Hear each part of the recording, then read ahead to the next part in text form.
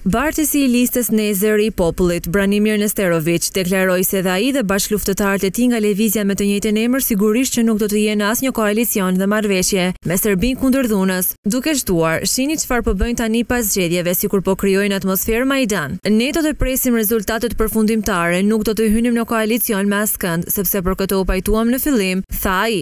Nesteroviq shtoi se themeluesit e lëvizjes, njëmbëdhjetë prej tyre do të takohen dhe do të votojnë në këto ditë, kështu që do të shohim nëse mund të jemi përkrahës të pakicës së SNS-së dhe SPS-së për disa propozime specifike. Ne jemi opozitë, por nuk jemi opozitë për gjithçka. Nëse do të kishte propozime të mira në Kuvendin e Qytetit ose nëse Parlamenti Republikan, Do të votonte rezolutën për Kosovën, e cila është në interes të shtetit, sigurisht që do ta përkrahnim, tha Nesteroviq. Për kujtesë, në natën e zgjedhjeve, kur u shpallën rezultatet, Nesteroviq tha në një intervistë nga selia zgjedhore, se nuk do të hyjnë në koalicion në Beograd me Serbia kundër dhunës. E kemi thënë atë që populli dëshiron ta dëgjojë dhe e sheh si vlerë të tijen, kështu e shpjegon Branimir Nesteroviq suksesin e listës së tij zgjedhore Ne Zëri i Popullit në zgjedhjet e Serbisë më shtatëmbëdhjetë dhjetor.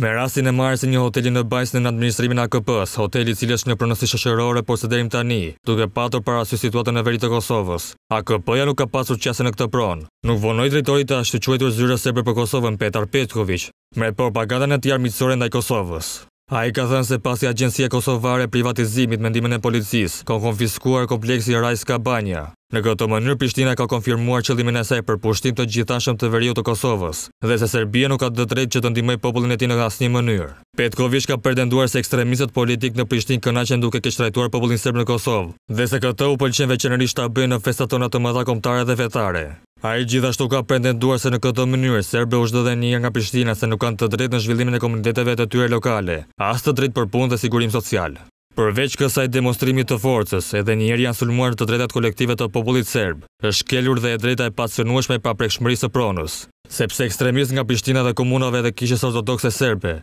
dhe individëve privatë në veri të krahinës tashmë në mënyrë të përditshme pa kurrfarë kufizimi dhe nevojë për arsyetim, shkelin dhe vjedhin pasurinë në mënyrën më të pashpirt, ka vazhduar me gjuhën e tij të urrejtjes Petkoviq.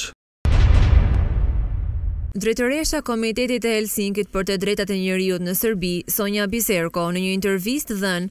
për rtv njëzet e një, ka folur për tema të ndryshme duke filluar me komentimin e zgjedhjeve që u mbajtën të dielën e shtatëmbëdhjetë dhjetorit në Serbi,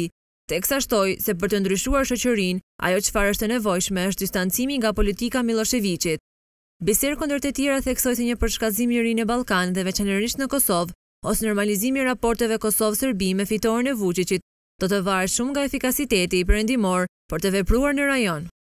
Duke folur për sulmin e shtatorit në Banjskë të Zveçanit, Biserko deklaroi se Serbia ka një potencial për të rritur tensionin në radhë të parë, por sipas saj, Perëndimi është i përgatitur të parandalojë çdo lloj përshkallëzimi, sepse është mjaft e qartë, Ballkani është shndërruar një prioritet të sigurie për Perëndimin dhe nuk do të heqin dorë lehtë nga Ballkani Perëndimor. Për fat të keq, këto zgjedhje nuk janë lajm i mirë për Serbinë dhe as për rajonin, sepse duket se Aleksandër Vuçiç është fitues absolut i këtyre zgjedhjeve, jo partia e tij, por ai vetë ishte në fokus të fushatës zgjedhore dhe dominoi në të gjitha mediat. Në të gjitha mënyrat e tjera të mundshme në fushatën që u zhvillua dhe me sa duket ai fitoi këto zgjedhje, edhe pse ishte opozita që bëri thirrje për këto zgjedhje, pas masakrave të majit në Beograd që ndodhën. Kështu, mund të themi këto zgjedhje ishin të lira, por jo të drejta, sepse partia në pushtet ose vetë Vuçiç dominoi ose monopolizoi median, shumicën e mediave, sidomos të medias elektronike. Monopolizoi institucionet burimet që paguante për vota, ai paguante një shumë të caktuar të parave për pensionistët, për të rinjtë, studentët dhe shumë grupet e tjera. Për shembull, në Kragujevac, siç kam dëgjuar.